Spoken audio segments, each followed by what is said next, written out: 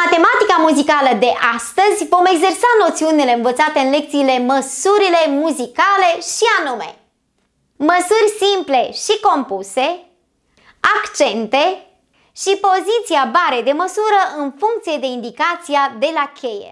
Vom avea trei seturi de exerciții cu diferite cerințe și câte un exemplu rezolvat pentru fiecare cerință în parte.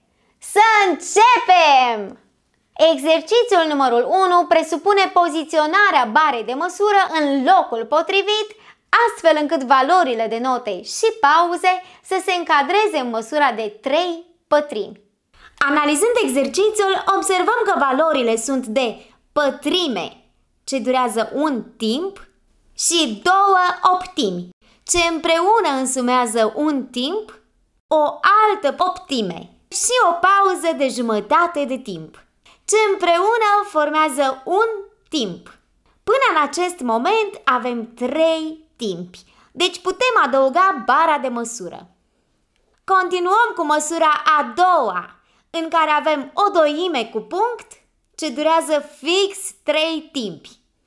Înseamnă că va trebui să adăugăm bara de măsură imediat după această valoare. A treia măsură este compusă din 4 16 ce împreună formează un timp, și o doime, ce, bineînțeles, are valoarea de 2 timpi. Iar acum veți continua voi cu exercițiul numărul 2 și exercițiul numărul 3.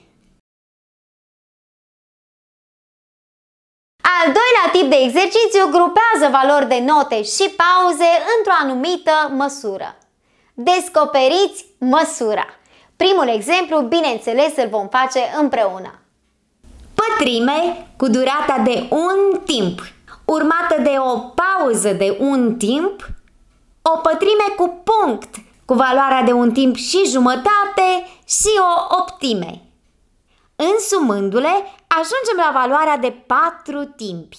Deci, suntem în măsura de 4 pătrimi. Continuați după același model exercițiul numărul 2.